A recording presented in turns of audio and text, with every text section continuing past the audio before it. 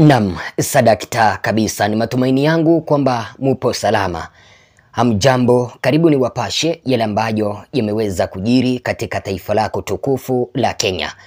Mimi nafahamika kama Mr. Eagle 8 na hichi ndicho kituo chako nambari moja cha Kenyan Media. Sote tunajua kwamba hapa nchini kuna mambo ambayo yanaendelea kuhusiana na housing projects, jinsi ambavyo serikali itakuwa inapata mashamba kutoka kwa counties hapa nchini bure bila kulipa chochote, alafu serikali inajenga nyumba kwa pesa ambazo wameweza kumtoza Mkenya, alafu zile nyumba serikali itakuja kuuza kwa bei ghali. Bila ya huyu Mkenya ambaye aliweza kutoa zile hela kupewa nyumba yake, kitu ambacho kilisababisha mawakili hapa nchini kama vile Ukio Mtata kuenda ma ma mahakamani wakasimamisha ule mradi. Vilevile vile tunajua kuna mambo ambayo yanahusiana na Social Insurance Health Fund hii ya William Samoei Ruto ambayo iliweza kusimamishwa hivi juzi na mahakama kwa kile ambacho mahakama ilisema kwamba William Samoei Ruto hakuweza kuwauzisha Wakenya wote. Vilevile vile tunajua kwamba kuna kesi ambayo inaendelea hapa nchini ya kuuzwa kwa parastatals. Am, kesi ambayo iliweza kuwasilishwa mahakamani na Raila Odinga, lakini mahakama ikaweza kusimamisha ule mchakato wa William Samoei Arap Ruto kuuza parastatal, pamoja na kesi nyingine ya Maisha Cards ambayo William Samoei Ruto alikuwa anataka kureplace uh, huduma namba ambayo mahakama iliweza kupinga hapo mwaka elfu mbili na ishirini na mbili.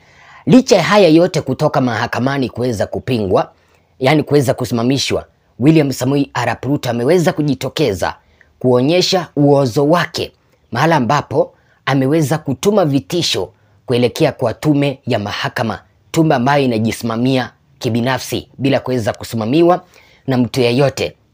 Unajua kitu hichi kimeweza kusababisha majaji pamoja na Law Society of Kenya kuweza kuitisha maandamano kote nchini ili kuweza kulalamikia vitisho ambavyo vimeweza kutolewa na Rais William Samoei Ruto kuelekea kwa tume ya mahakama pamoja na kuelekea kwa majaji hapa nchini.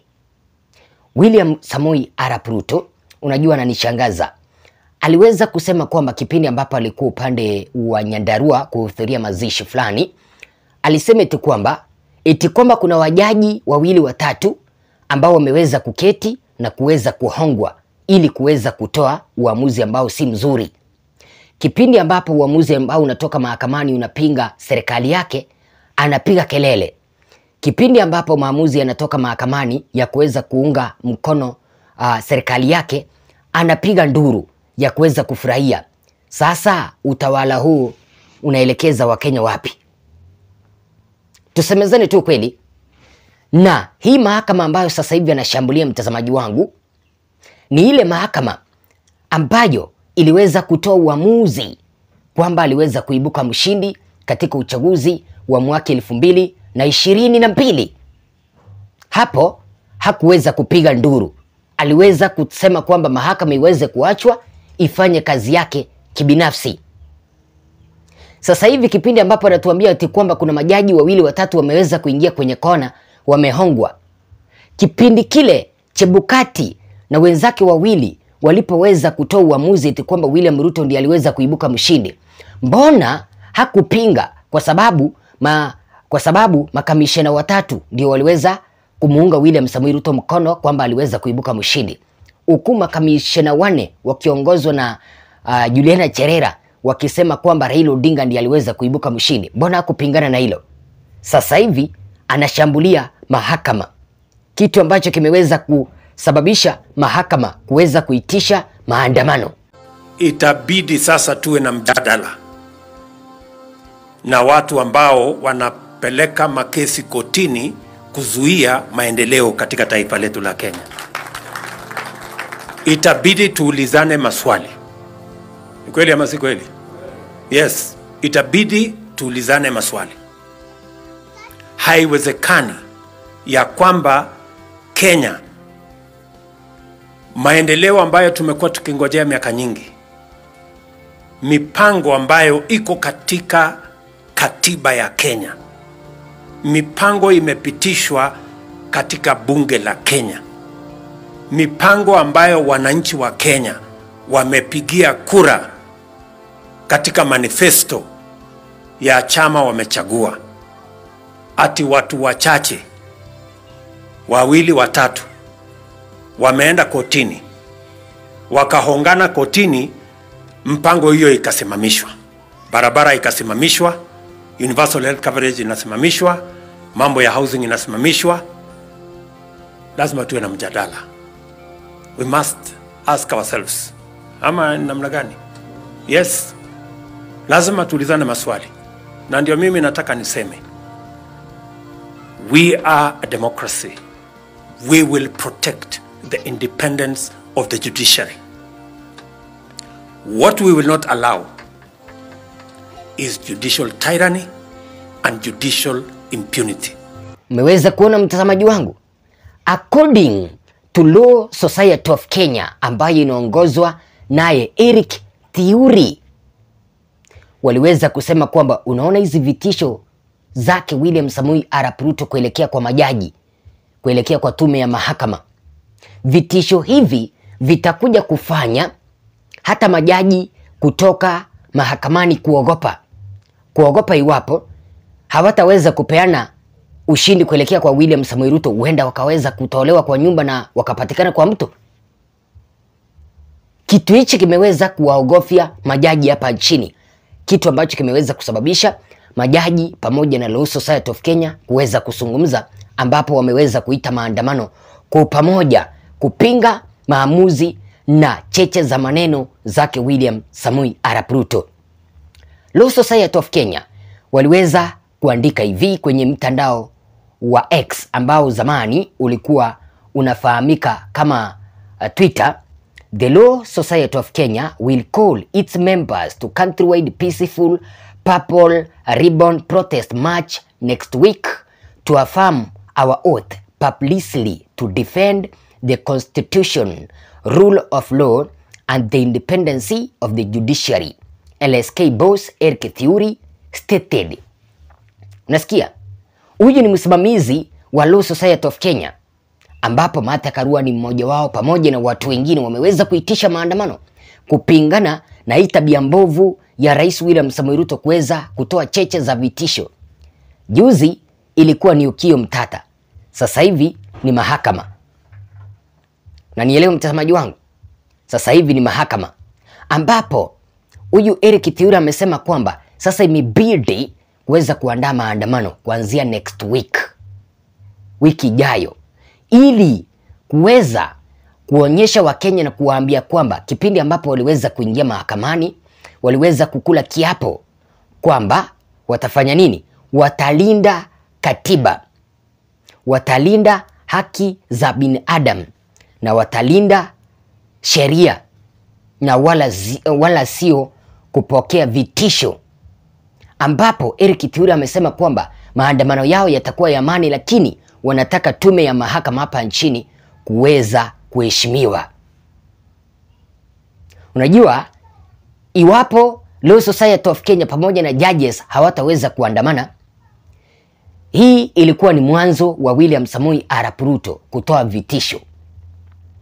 Kesho kesho, iwapo hawa hawataweza kuongea, kesho vilevile vile, ataweza kuamuru hata jaji fulani aweze kukamatwa kwa sababu ameweza kupingana na sheria zake.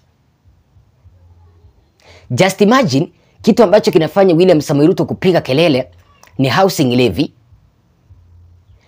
Social Insurance Health Fund ambayo unatozwa 2.75%. Sio pesa zake ndio zinamfanya analalamika, ni zako. Housing levy, pesa ni zako, kitu ambacho mahakama iliweza kusema kwamba William Ruto kipindi ambapo alikuwa analeta huu mchakato haukuweza kufuata vizuri, kwa sababu hata ukiweza kuangalia kule bungeni, serikali iliweza kutumia pesa, wakaweza kuhongana, wabunge wakapitisha housing levy, wabunge wakapitisha Social Health Insurance Fund. William Ruto yeye peke yake kipindi ambapo aliweza kuhonga Supreme Court wakapitisha ushindi wake, mbona hakukuwa anapiga kelele? Na ndio maana unaona Law Society of Kenya imeweza kubidi kuweza kuitisha maandamano. Haikutoshea hapo, shirika la majaji hapa nchini ambalo linaitwa kwamba linaitwa kama Kenya Judges and Magistrates Association wameweza kumkemea William samui Arap Ruto kuhusiana na matamshi yake mabovu, kutishia majaji ambao waliweza kutoa uamuzi ambao uko sawa kuweza kuwatetea Wakenya, ambapo William samui Arap Ruto ameweza kuwaita wale majaji kutoka mahakamani kwamba wameoza. Shirika la majaji likaweza kusema hivi, by disobeying the court order the president is disobeying the very constitution which he swore to protect and uphold by trembling upon the independency of the judiciary. The rule of law envis envisages that where any, part, any party is not satisfied with the decision made by court, such party ought to exercise the right of appeal.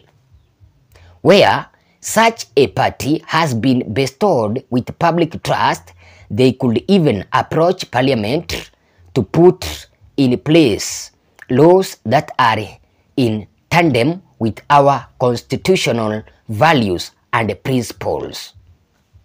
Unasikia?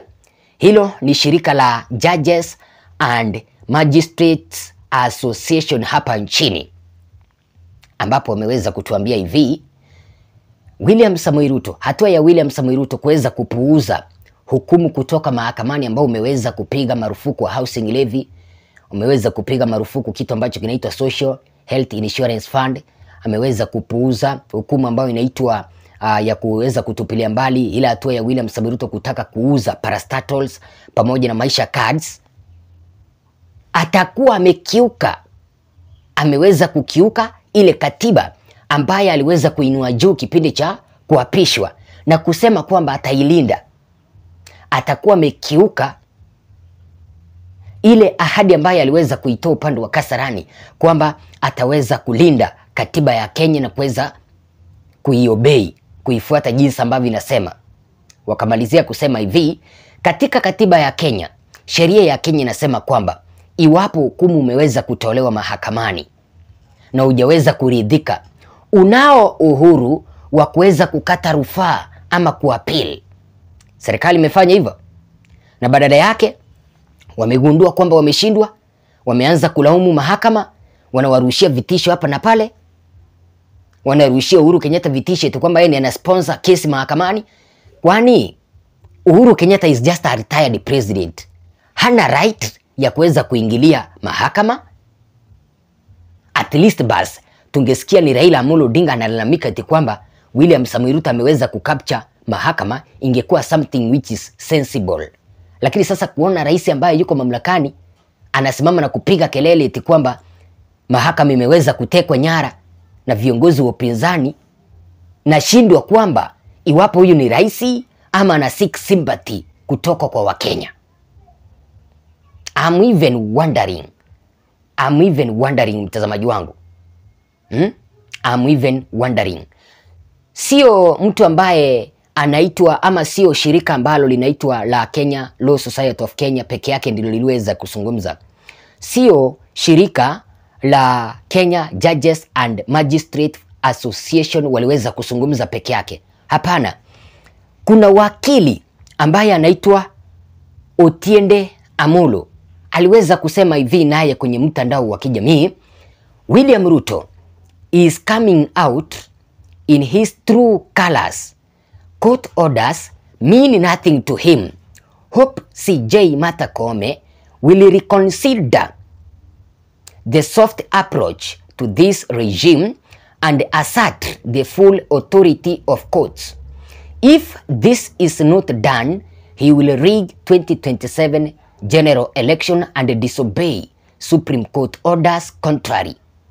Yaani huyu wakili Bwana Otiende Amolo akaweza kutuambia hivi, William Samoei Ruto ameanza kuonyesha wazi kwamba yeye hataweza kuheshimu uamuzi kutoka mahakamani.